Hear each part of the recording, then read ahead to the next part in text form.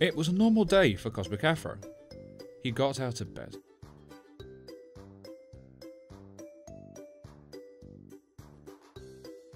Brushed his hair.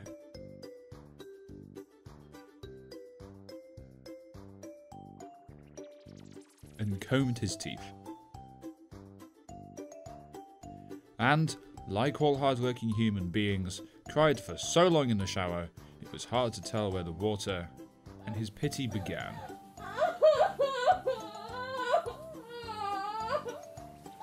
Fresh and new, hiding the turmoil of defeat underneath his skin, he was ready once again to discuss pyro.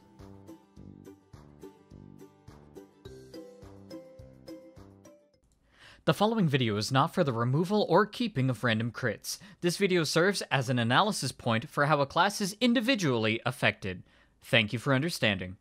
See, the Pyro's whole kit is that he's supposed to be an obstacle that you are supposed to overcome, and he will obliterate you if you do not pay attention. But otherwise, he's pretty harmless, right? Right?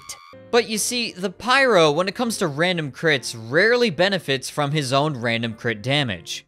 But Cosmic, it's me, the average commenter. Whenever the Pyro has random crits with his flamethrower, I instantly die if I'm in range. That's a good point, alternative me, that my therapist told me to ignore because I was often talking too much in public spaces and said a lot of things that I didn't actually mean to say. But the Pyro deals in short-range damage, and unlike the Scout, it's damage over time, which means that it doesn't scale nearly as well as the other two classes that we've discussed in the series that you can check out in the description below. While in a capable pub setting, the Pyro is going to be outputting enough damage to actually make that happen, in a competitive level, he's not going to be ambushing enough to really make use of random crits if random crits did exist in pubs. But I will say this, my average commentator. That your bald head has freckles on it now? Stop staring at my head! Uh, the Pyro does have one unique thing when it comes to random crits that no other class has that we do need to keep in mind.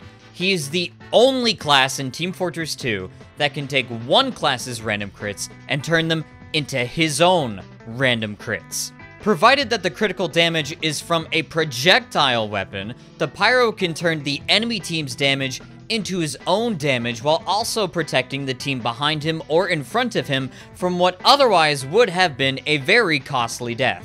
So while the Pyro may not be the most effective when it comes to random crits with his own personal kit, the fact that he can take any projectile weapon and turn it against the enemy team for his own benefit means that he is one of the classes, probably in third or fourth place on that matter, that benefits the most from random crits existing.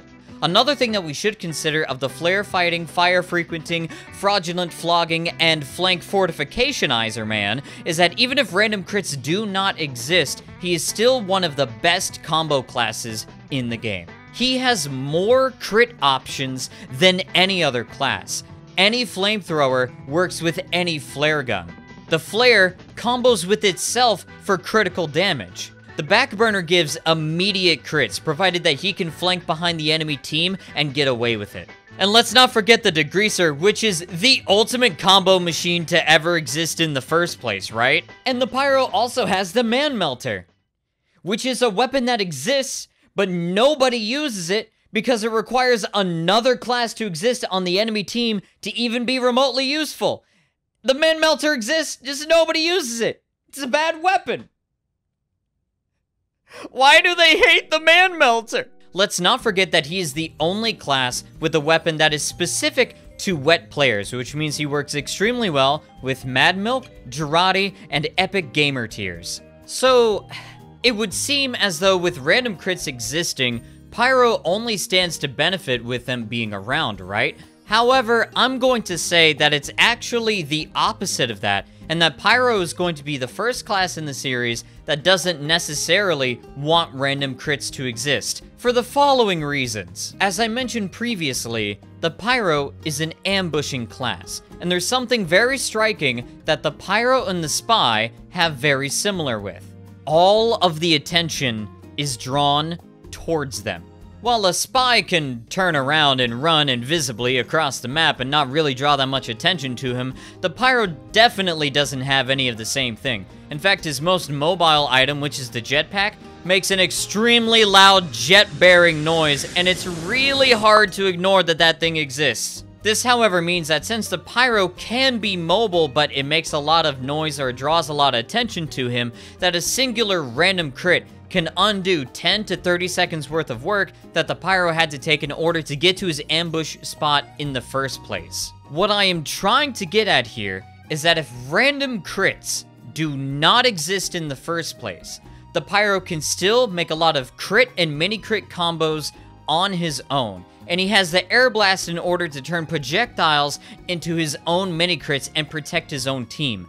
If random crits do not exist, nothing changes about the Pyro. He stays completely the same and does not change at all with random crits existence or not. In fact, I would dare to say that pub pyros benefit far more when random crits don't exist because then they can do their job properly and the combos that they do receive a buff because they are able to get that stuff more consistently and by default becomes a more powerful class especially in close range.